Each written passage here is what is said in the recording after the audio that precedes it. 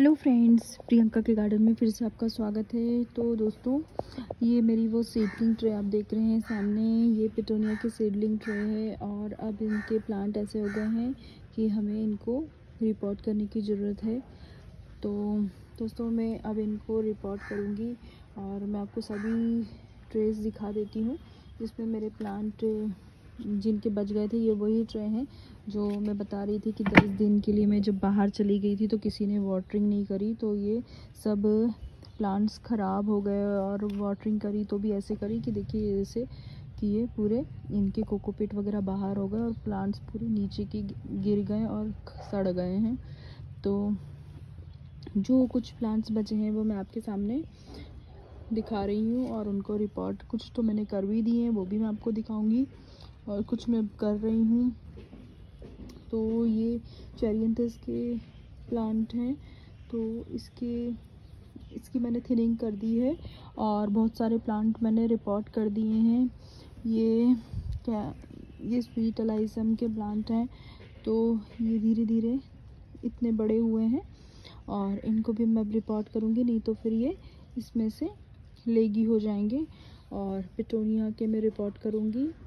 तो अभी पिटोनिया का मैं रिपोर्ट कर ही रही थी तो मैं आपको ये दिखा दूँ कि इनको रिपोर्ट करना कैसे एक प्लांट तो मैंने लगा दिया, एक मैं लगा रही हूँ तो मैं डायरेक्ट जिस स्पॉट में मुझे लगाने हैं, मैं उसी में इनको लगाऊँगी।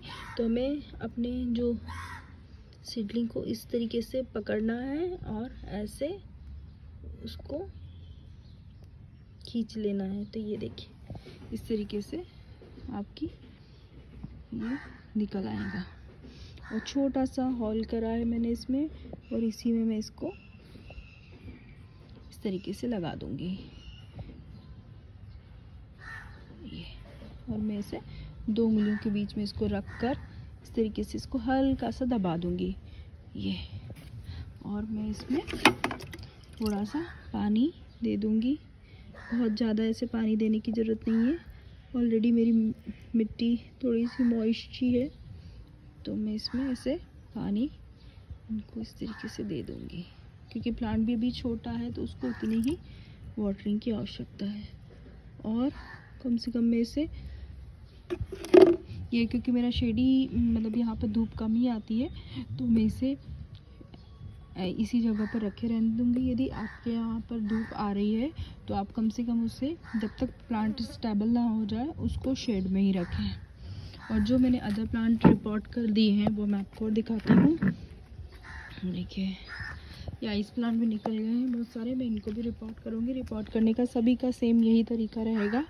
ये देखिए, मैंने इसमें जो है एनुअल क्राइज क्राइजेंथमम के प्लांट जो थे, वो मैंने लगा दिए हैं। ये चेरियंथस के प्लांट्स हैं। सभी को मैंने शेड में ही रखा है, क्योंकि आज ही मैंने ये सब रिपोर्ट किए हैं। वीडियो मैंने नहीं बनाई थी तो अब मैं इसको दिखा रही हूँ। और ये देखिए, मैंने जो अभी कुछ दिनों पहले वीडियो बनाई थी, उसमें मैंने नास्ट्रेशियम के और पेंजी के और गेंदे के बीज लगाना बताए थे। ये वही सीडलिंग ट्रे है। और ये देखिए नास्ट्रेशियम के, कितनी सारी स्प्राउटिंग हो गई है। ये देखिए, सब में अच्छे से स्प्राउटिंग हो रही है। अभी पेंजी में कुछ भी नहीं हुआ है। पेंजी को वैसे भी थोड़ा टाइम लगता है तो थोड़ा हम वेट करेंगे। और देखिए, गेंदे में तो कितने सारे मतलब बीज निकल गए हैं।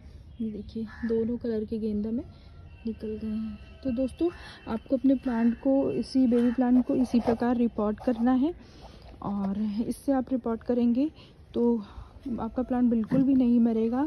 आपको ऐसी ज़रूरत नहीं है कि आप उसे पहले छोटे पॉट में रिपोर्ट करें। डायरेक्टली आप जिस पॉट में आपको फाइनली पौधा लगाना है, उसमें भी आप का प्लांट को इतना बड़ा होने पर आप रिपोर्ट कर सकते हैं बट उसको आप शेड में ही रखें। ओके फ्रेंड्स बाय जय हिंद, जय भारत। यदि आपको मेरी वीडियो पसंद आ रही है तो आप मेरी वीडियो को लाइक करें शेयर करें और मेरे चैनल को सब्सक्राइब करें। Okay friends bye